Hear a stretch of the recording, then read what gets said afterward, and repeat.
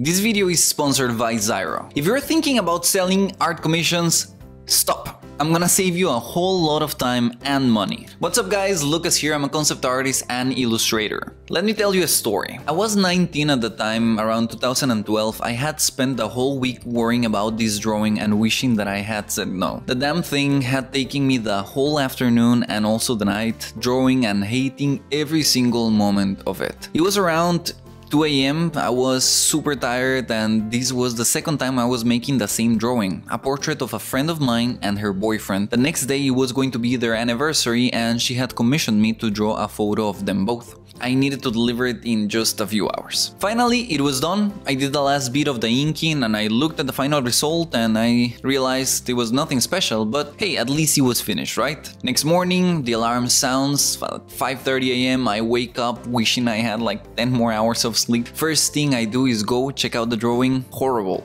Her nose was so out of proportion that she looked like a bad caricature of a clown. I feel like this chill in my stomach, I, I, didn't have time to make another one, so I just grabbed it, I put it inside of one of my notebooks and I just got ready. All the time thinking, she is going to hate it. A couple of hours later, we meet, I take the drawing out, she looks at it, and I can see the disappointment in her face immediately.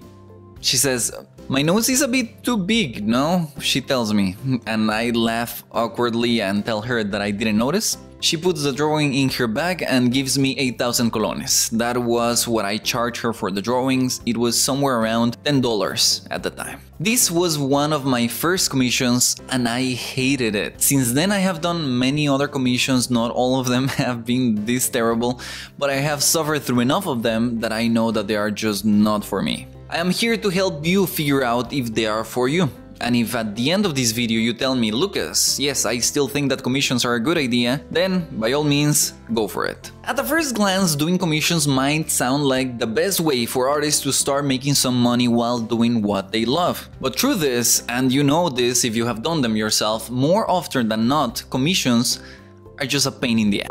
First, if you don't have a big following, you might find that just announcing on social media that you're open for commissions feels like screaming to the void. Nobody cares. Second, the pay can be so bad. This of course depends on what on the prices that you choose, but you can find a lot of artists doing commissions for like 50, 20 or even $10. That is definitely not enough to make a living out of it. First question is, why commissions? Why the hell commissions? Yeah, I understand that making a living as an artist is a very attractive idea and let me tell you, it is absolutely possible. I have been a full-time artist for the past 6 or 7 years and it has been just getting better every year. There are many, many ways of making a living as an artist, so it is very important that you decide if commissions are the right way for you. If you want to hear my top ways to start making money as an artist, you can check this video out. But my personal favorite and the one that is paying for my life basically right now is digital products. Specifically, I sell my brushes on my website. This alone, selling my brushes, helps to sustain me way more than commissions ever did.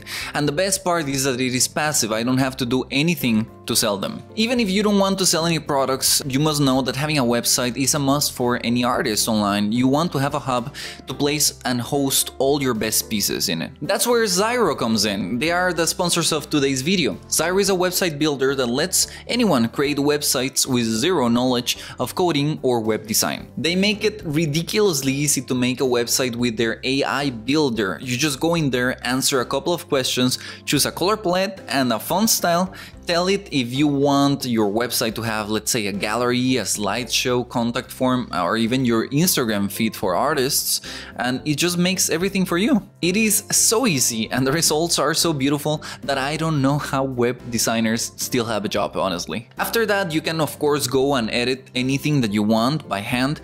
All in all, it took me around 10 minutes to make a full website with a contact form, the Instagram feed, the gallery, and everything in there. Zyro is normally super affordable, but now more than ever you can grab a great deal for a limited time only, so you can go and click the link below or use my code LUCAS to get an exclusive discount plus 3 months free and a free domain for a year with any yearly plan. Thank you very much Zyro for sponsoring this video. Okay, so let's get back to the commissions. Doing commissions is not an easy job. It takes a lot of time and effort to find clients, talk with them, make sure that you're a good fit, discuss the prices, get a briefing for the tasks, go back and forth with revisions, and a ton of other things. And that you have to find another client right away so that you can start the whole thing from scratch again. On the other hand, if you find the right clients, ones that pay good, don't give you a lot of problems and they keep just coming back to you, doing commissions might actually not be that bad. But you gotta understand, and that is important thing, that there is a lot more work around doing commissions besides the drawing itself. You basically become a business owner, okay? Another factor to take in consideration is that a lot of times you might find yourself doing commissions that don't have absolutely anything to do with what you like to draw.